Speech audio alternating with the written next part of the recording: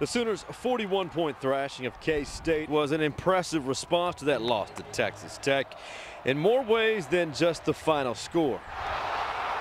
The emergence of two more receivers in Jaz Reynolds and DeJuan Miller, and the production by the tight ends, James Hanna and Trent Ratterree, all accounted for 164 of that 690-yard offensive performance.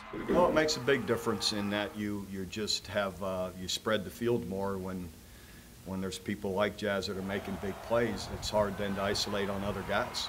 Equally as impressive were the Sooners who have imaginary dorsal fins. Yes, I'm referring to the OU defensive backs, the same group which was torched and humbled by Texas Tech. They limited K-State to just 240 yards of total offense. Yes, my friend, the Sharks are back, and they are planning a feeding frenzy on some Aggies right here on Saturday. Probably have to say the loudest one is Tony.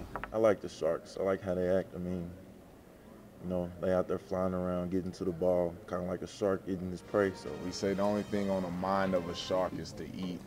Um, that little logo means the only thing on the mind of a shark is to play. Or he has to go full speed, 100%.